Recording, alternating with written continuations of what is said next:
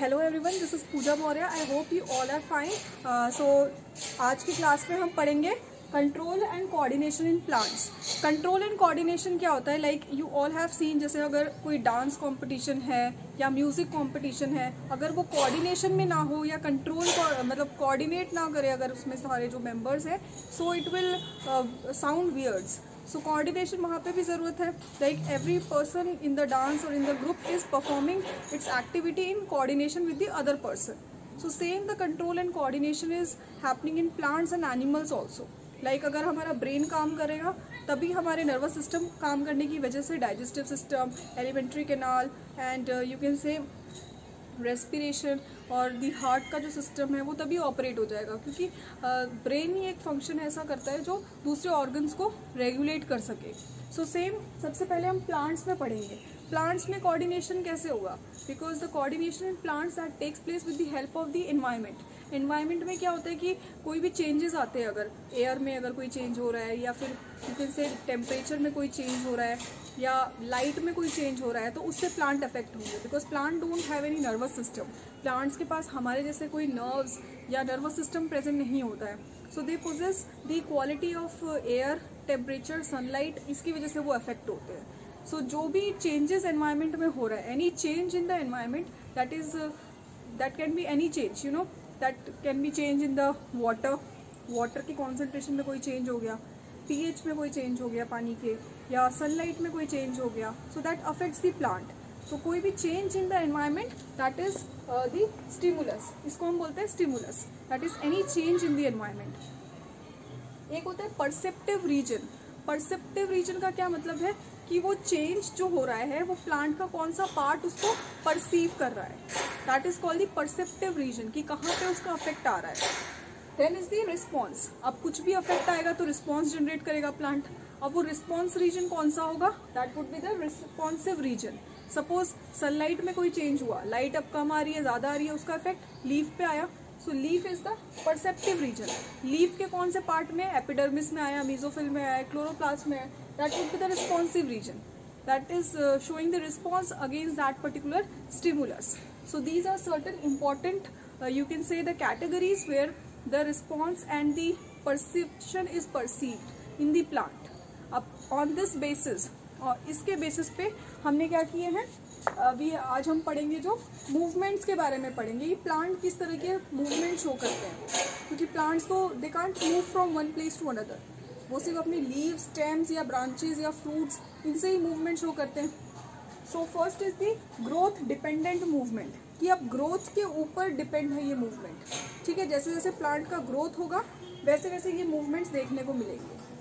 Another is the growth independent movement इसका growth से कोई लेना देना नहीं है। प्लांट ग्रो कर रहा है या नहीं कर रहा है that is the movement which is on the basis of turgor pressure okay on the basis of turgor pressure turgor pressure is the pressure that is you can say कि ये प्रेशर वैक्यूल्स में changes आने की वजह से होते हैं। Okay that is inside the cell में कोई चेंज आ रहा है, उसकी वजह से ये मूवमेंट हो रहे हैं। कोई बाहर से या कोई बहुत ही इंटरनली कोई चेंज ऐसा नहीं आ रहा प्लांट के अंदर जो उसकी ग्रोथ से रिलेटेड है। ओके जैसे प्लांट के सेल के लेवल पे कोई चेंजेस हो रहे हैं अंदर that is the turgor movement and it is growth independent movement और ग्रोथ डिपेंडेंट के अंदर further we have two categories induced और paratonic movement and another one is autonomic movement induced का मतलब क्या है? ये एनवायरमेंट में किसी भी चेंज की वजह से आया।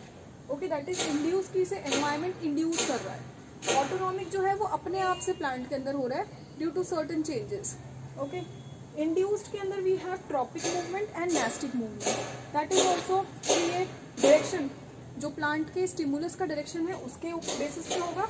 और ये प्लांट के डायरेक्शन के ऊपर नहीं है। जहाँ पे स्टिमुलस है, उसके डायरेक्शन से उसका कोई मतलब लेना लेना नहीं है।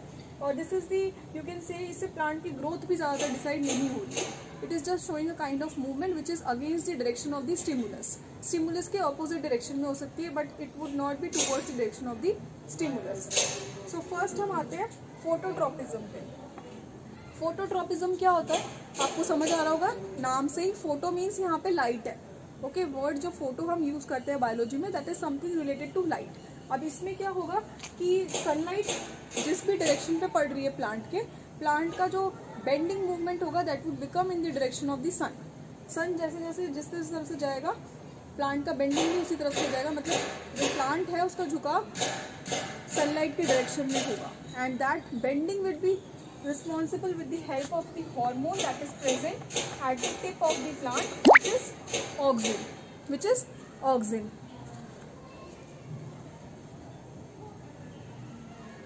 so so, oxygen की वजह से प्लांट का ग्रोथ डिसाइड हो रहा है towards the presence of sunlight okay जैसे आप ये एक्सपेरिमेंट करके देख सकते हैं that you can keep a plant plant at your window side towards the sun and the plant will show the bending towards the sunlight.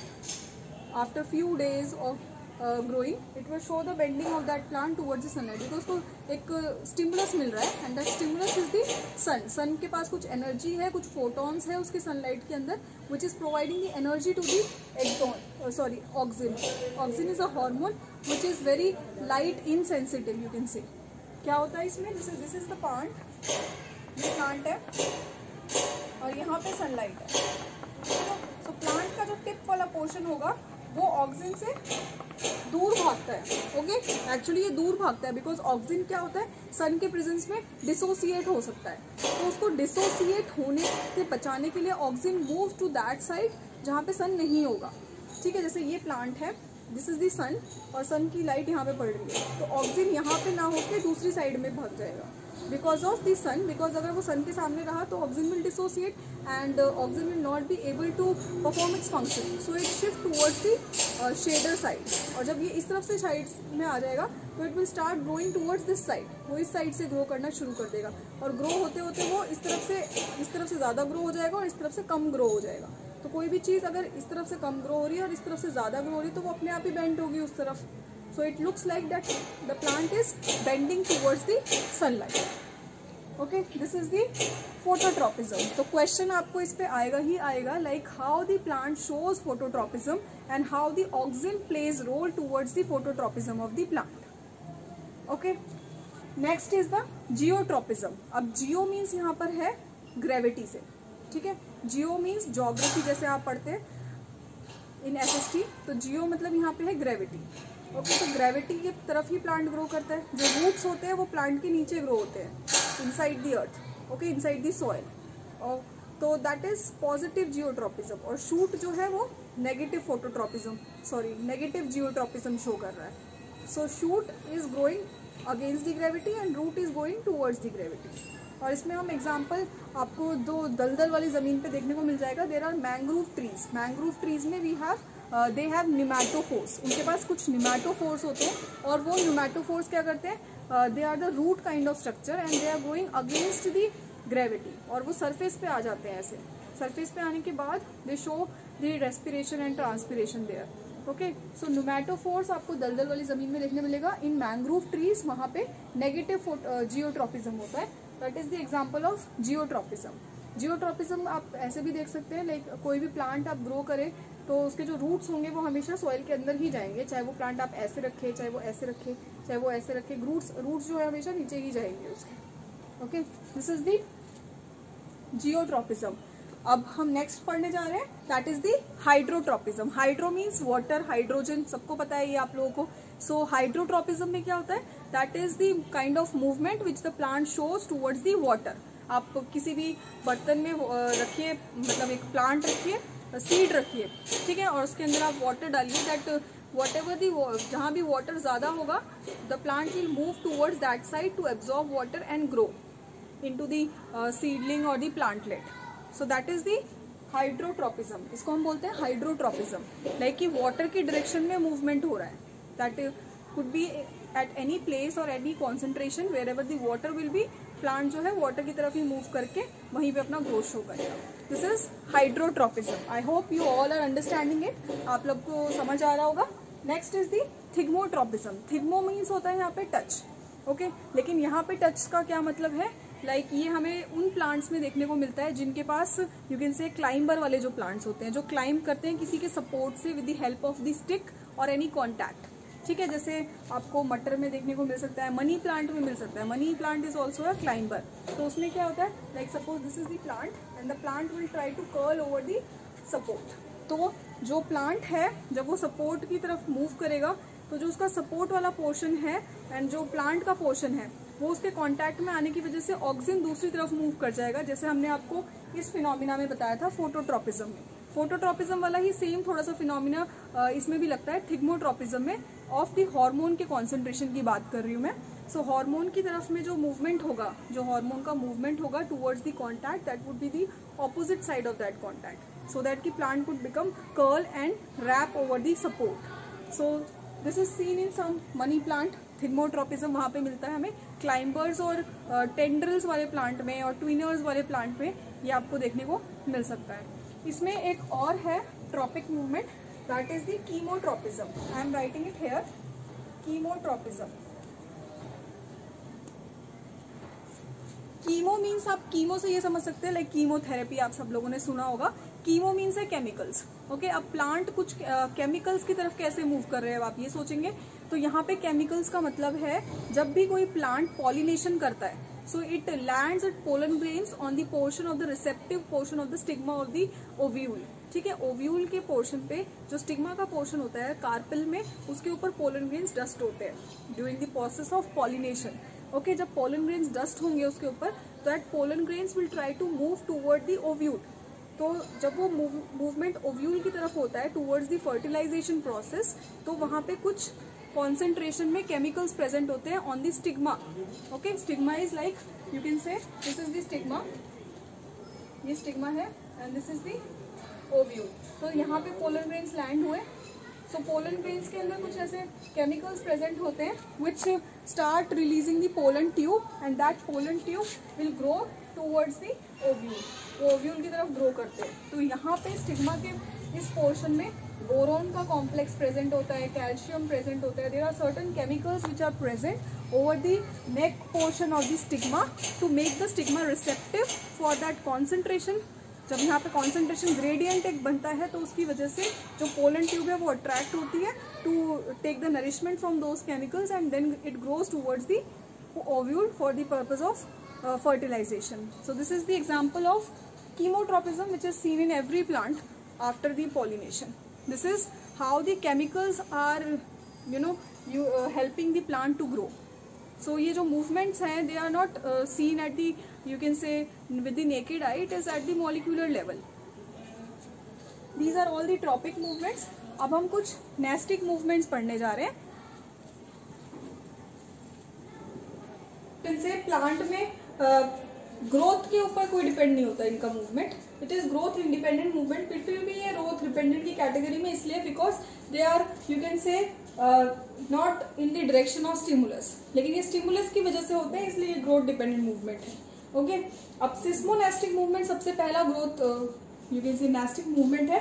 Seismonastic में क्या होता है? This is seen in mimosa pudica plant ये mimosa के plant में देखने को मिलता है। इसमें क्या होता है? There is the folding of leaves you can say like like कि मिमोसा प्यूडिका में जब हम कोई प्लांट uh, जो आपने टच मी नॉट प्लांट देखा है छुई मुई का पौधा उसका साइंटिफिक नेम है मिमोसा प्यूडिका जैसे हम उसको टच करते हैं उसके लीव्स फोल्ड हो जाते हैं और थोड़ी दिन बाद वो लीव्स वापस से अपने ओरिजिनल पोजीशन पे आ जाते हैं। This is called seismonastic movement next is the photonastic photonastic में क्या होता है? यहाँ पे इंटेंसिटी ऑफ़ लाइट मेजर की जाती है। इंटेंसिटी जैसे कि कुछ प्लांट है जो दिन में फ्लावर करते हैं ओपन होते हैं और रात में बंद हो जाते हैं। कुछ प्लांट है जो रात में ओपन होते हैं, दिन में बंद रहते हैं। तो इसका example is like oxalis and oenothera oenothera ये जो प्लांट्स है ऑक्सालिस जो है वो दिन में ओपन होता है रात में क्लोज हो जाता है। And oenothera is a plant जो रात में ओपन होता है दिन में क्लोज होते हैं। So it just measures the intensity of light ये लाइट की इंटेंसिटी पे ओपन एंड क्लोज होते हैं। Third is the thermonasty thermonasty movement में क्या होता है? Thermonasty is totally related to the you can say the इसमें टेम्परेचर को मेजर किया जाता है लाइट फ्लावरिंग uh, के लिए। फ्लावरिंग के लिए टेम्परेचर रिस्पॉन्सिबल होता है। ये सब हमें देखने को मिलता है oxalis sorry crocus and tulip वाले प्लांट में। क्रोकस एंड ट्यूलिप के प्लांट कैसा टेम्परेचर है, वैसे वो फ्लावरिंग करते हैं। Okay this is the all growth dependent movement I am summarise it again first is the induced और paratonic second is autonomic induced में आते हैं हमारे पास ट्रॉपिक एंड नेस्टिक ट्रॉपिक में we have phototropism geotropism hydrotropism thigmotropism and last is the chemotropism इसके examples आपको याद रखने हैं, या इस पे एक्टिविटी पे क्वेश्चन आ सकता है आपको like demonstrated activity how plant is bending towards the light and how geotropism is you know acting there hydrotropism की कोई एक्टिविटी बताओ। या इसके एग्जाम्पल्स पे क्वेश्चन आ सकते हैं ऑक्सीजन पे क्वेश्चन आता है। नेस्टिक मूवमेंट में सिस्मोनेस्टी है photonasty thermonasty now we will do the turgor movement और दी ग्रोथ इंडिपेंडेंट मूवमेंट अब हम पढ़ेंगे ग्रोथ इंडिपेंडेंट और दी टर्गर मूवमेंट ठीक है ग्रोथ डिपेंडेंट में क्या था? दिस मूवमेंट वॉज़ फास्ट ठीक है, ये थोड़ा सा इसमें क्या होता है कि ग्रोथ इमीजिएट होता है एकदम से, और उसके बाद दोबारा से ये ओरिजिनल पोजीशन पे आ जाते हैं। दे आर रिवर्सिबल और इसमें टर्गर मूवमेंट थोड़ा रिस्पॉन्सिबल होता है। It depends on the turgidity of the cell okay ये वैक्यूल्स के अंदर जो टर्जिडिटी है, उसके ऊपर मेंटेन करते हैं ये। एंड इसमें क्या होता है? इट इज़ रिवर्सिबल ये वापस से अपनी ओरिजिनल पोजीशन पे आ जाएँगे। यहाँ पे ऐसा कुछ नहीं, एक बार ग्रोथ हो गया, फिर वो वापस नहीं हो सकता growth because growth is reversible अब इसमें हमारे पास आता है autonomic turgor movement autonomic turgor movement का क्या है? तो ये अपने आप होते हैं, जैसे लीफलेट्स है। दो लीफ है प्लांट की दिस इज़ लीफलेट ये एक लीफ हो गई और एक दूसरी लीफ हो गई। ठीक है? Autonomically due to lateral branches ये मूव कर रहे हैं। This is seen in telegraph plant में देखने को मिलता है that there is the autonomic turgor movement of the lateral branches nyctinasty में this is the sleep movement रात में कुछ प्लांट्स फोल्ड हो जाते हैं एंड दिन में ओपन हो जाते हैं. This is showing a kind of sleep movement nyctinasty ये हमें लेग्यूम्स और ऑक्सैलिस वाले प्लांट्स में देखने को मिलता है. हाइड्रोनेस्टी इज़ लाइक ये ग्रासेस में होता है. जब घास को पानी कम मिलता है तो उस टाइम पे वो ड्राउट uh, कंडीशन में वो उसके लीव्स फोल्ड हो जाते हैं. एंड वाटर uh, को कंजर्व करने के लिए they show this kind of phenomena so this is the hydronasty fourth is the haptonasty में क्या होता है? जनरली द प्लांट के जो पिटियोल पोर्शन है पिटियोल इज़ द प्लांट का ये वाला पार्ट पिटियोल वाला पोर्शन है प्लांट का जिसमें प्लांट यूनिट से is attach to the main branch ये पिटियोल है ये पोर्शन जो है पिटियोल इसमें ड्रूप हो जाता है. This is the petiole petiole इसमें ड्रॉप हो जाता है और प्लांट फोल्ड हो जाता है। This is see mimosa pudica में। ठीक है? एंड सिस्मोनेस्टी में भी सेम इसी तरह से कुछ होता है कि प्लांट इसमें भी पोर्शन प्लांट का फोल्ड हो जाएगा किसी शॉक या इंजरी की वजह से। ठीक है? प्लांट को कोई शॉक या कोई भी इंजरी होने से प्लांट को प्रोटेक्ट करता है उस टाइम पे सो दैट कि प्लांट को कम इंजरी हो। इसके लिए सिस्मोनेस्टिक मूवमेंट शो करता है प्लांट अब हम पढ़ेंगे कुछ ये सारे, हमने ग्रोथ ग्रोथ के मूवमेंट्स पढ़े हैं. That is the visible invisible movement at the molecular level and at the level of stimulus अब हम पढ़ेंगे कि किस तरह से हॉर्मोन्स रोल प्ले करते हैं in control and coordination plants के अंदर. क्योंकि प्लांट्स में भी कुछ हॉर्मोन्स होते हैं like as we have plants also have because plants को भी फ्लावरिंग फ्रूटनिंग ये सब करना होता है. So hormones are also important in plants अब हम पढ़ेंगे कि उसका क्या फीचर होता है how the hormones regulate the growth and development of the plant अब हम पढ़ेंगे हॉर्मोन्स के बारे में. There are four to five hormones जो आपके सिलेबस में है. First is the auxin auxin का काम क्या होता है? Auxin is indole acetic acid auxin का जो केमिकल नेम है that is indole acetic acid इसको हम शॉर्ट में आई ए ए भी लिखते हैं और आई बी ए बी है. This is the synthetic auxin so ये इस फॉर्म में प्रेजेंट होता है एनवायरमेंट में. एंड uh, इसका फ़ंक्शन क्या है? ऑक्सिन का काम है। First is cell elongation cell को ये इलोंगेट होने में हेल्प करता है। सो so दैट कि सेल uh, जल्दी से इंक्रीज हो सके सेल डिवीज़न के through second is the apical dominance apical dominance क्या होता है कि सेल आप देखेंगे जैसे गार्डनर्स वगैरह जो होते हैं वो ऊपर से प्लांट को ट्रिम करते हैं। सो so दैट कि उसकी लेंथ इक्वल रहे। तो वो ट्रिम क्यों किया करते हैं? Because of the apical dominance plant अपनी हाइट में इंक्रीज होता रहता है from the top portion of the plant तो वो टॉप पोर्शन को ट्रिम करते हैं just to make the size of the plant uniform that is the apical dominance third is the respiration oxygen respiration में भी हेल्प करता है. That is called to enhance ये एनर्जी एक्स्ट्रा एनर्जी प्रोवाइड करता है plant को so that कि plant extra energy लेके ज़्यादा से ज़्यादा रेस्पिरेशन करके जल्दी ग्रो करे फोटोसिंथेसिस के हेल्प से. Fourth is the fruit growth fruit के ग्रोथ में भी हेल्प करता है. लाइक uh, फ्रूट के साइज़ को इंक्रीज करना. फ्रूट का जल्दी से जल्दी ग्रोथ देखना। इसमें भी ऑक्सीजन हेल्प करता है। Third is the root induction root induction हमें वेजिटेटिव प्रोपोगेशन में काफ़ी हेल्प करता है। लाइक शुगर केन वगैरह या जो रोज का प्लांट है, जो स्टेम कटिंग वाले प्लांट्स है, उनमें स्टेम को रूट्स को जल्दी से इलांगेट करना होता है बिकॉज़ वो एक जगह से दूसरी जगह लगाते हैं विदाउट एनी सीड सो वहाँ पे रूट को जल्दी से जल्दी इंड्यूस करके प्लांट को हेल्प करता है कि वो सॉइल में जल्दी से ग्रो हो सके।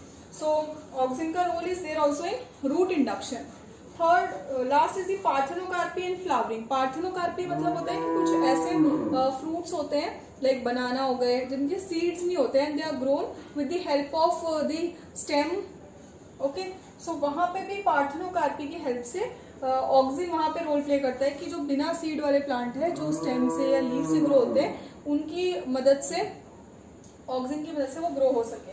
फ्लावरिंग में भी हेल्प करता है कि जल्दी से फ्लावर करे प्लांट एंड जल्दी से उसमें फ्रूट लगे तो उसके लिए भी ऑक्सीजन का रोल है वहाँ पे।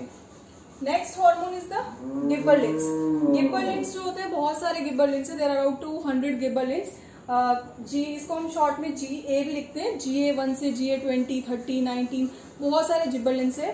सो जिब्बरलिन का फ़ंक्शन है टू इन दी ग्रोथ ये भी ग्रोथ में हेल्प करता है सेल डिवीज़न में हेल्प करता है प्लांट के।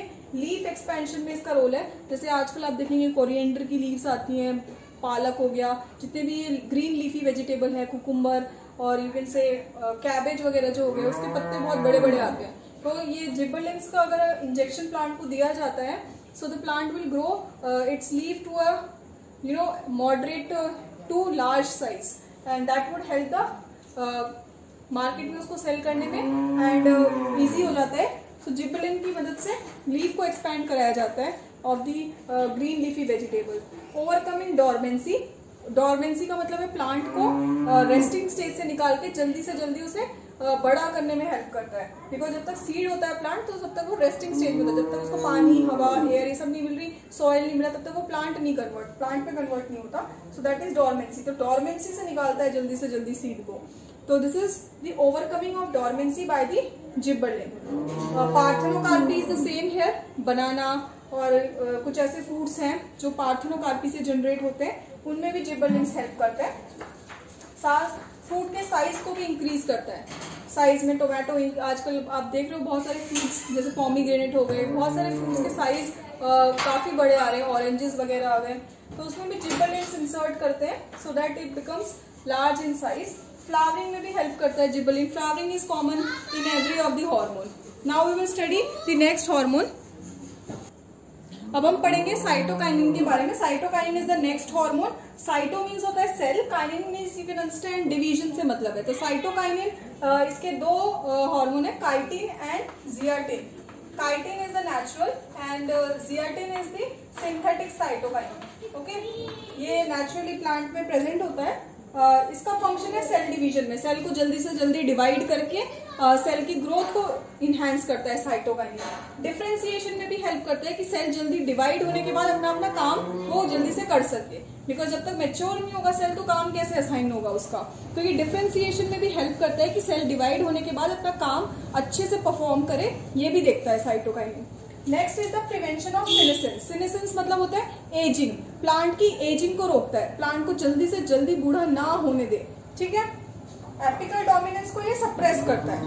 अब ऑक्सीजन जो था एपिकल डोमिनेंस को इंक्रीज कर रहा था। ये क्या करता है? सप्रेस करता है एपिकल डोमिनेंस को कि टिप वाला जो पोर्शन है एपिसिस वाला जो पोर्शन है प्लांट का, वो जल्दी से जल्दी ना बढ़े।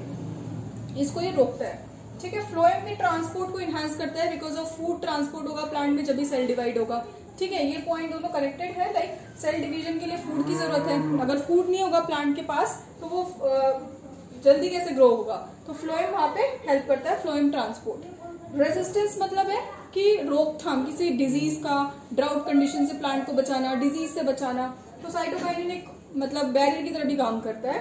फ्लावरिंग में हेल्प करता है cytokinin of like some fruits उनकी फ्लावरिंग जल्दी से हो।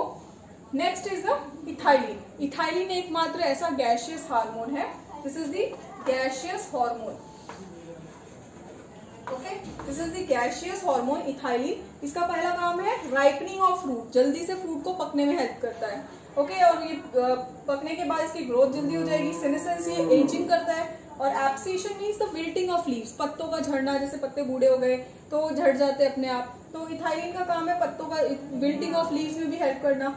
डॉर्मेंसी को प्लांट से ये थोड़ा डॉर्मेंसी में प्लांट को लेके जा सकता है ethylene next is the abscisic acid abscisic acid को हम स्ट्रेस हार्मोन बोलते हैं। अब स्ट्रेस तो प्लांट के लिए भी अच्छा नहीं है ओके तो जब प्लांट स्ट्रेस में आ जाएगा, कब आएगा? जब उसको पानी नहीं मिल रहा, खाना नहीं मिल रहा स्ट्रेस में तभी आ सकता है प्लांट तो ये क्या करता है? उससे क्या होगी? ग्रोथ कम हो जाएगी प्लांट की। ट्रांसपीरेशन को भी चेक करता रहता है कि ज़्यादा से ज़्यादा पानी ना लॉस हो जाए प्लांट के अंदर से। तो ये ट्रांसपीरेशन को भी चेक करता है कि stomata time to time close हो। टॉर्मेंसी में ले जा सकता है ये प्लांट को बिकॉज़ ये स्ट्रेस क्रिएट कर रहा है प्लांट में।